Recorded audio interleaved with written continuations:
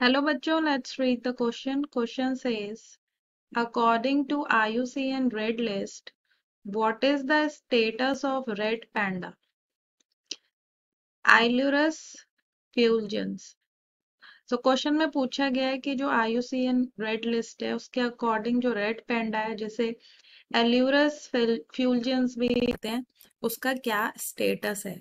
चार ऑप्शन दिए हैं, जिसमें फ़र्स्ट है vulnerable species, second critically endangered species, third extinct species or fourth endangered species.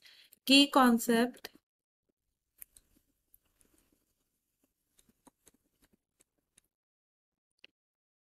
So IUCN red list so IUCN जो होता है इसकी फुल फॉर्म है। International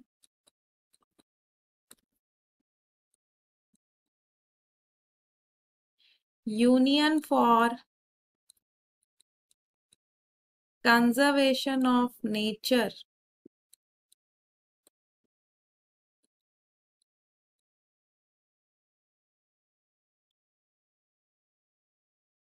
red list of threatened species.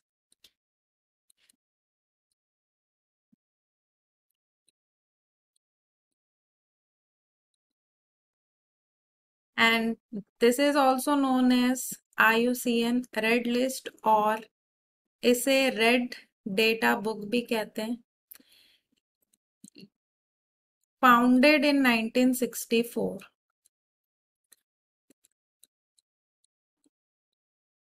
and this red data book or IUCN red list is the world's most comprehensive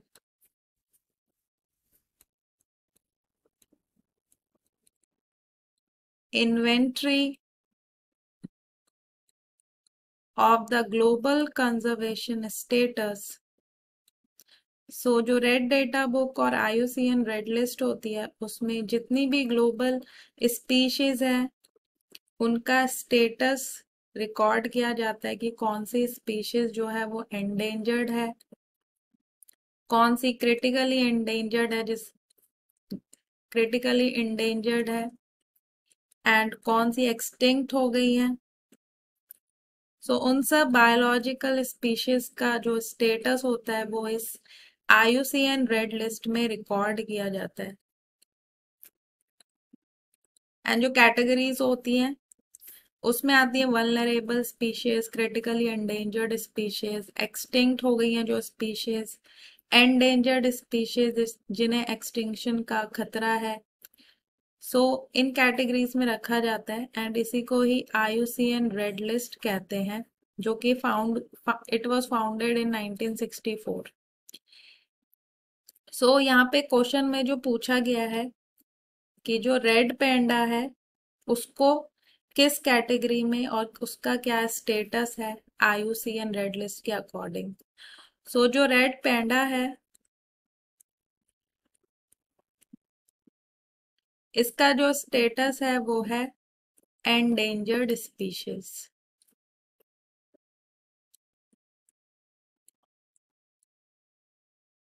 तो ये endangered species में आता है और ये स्पीशीज जो होती हैं, वो स्पीशीज होती हैं। Those species that are facing high risk so ये facing very high risk of extinction in the wild in the near future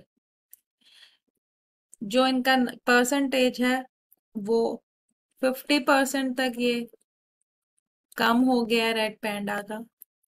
so so, जो आंसर है वो है answer that is option number four is the correct option endangered species जो vulnerable species होती हैं इनका number sufficient होता है इनकी पॉपुलेशन का प्रेजेंट में बट आर डिप्लीटिंग फास्ट जैसे लेपर्ड कैट इसमें आती है।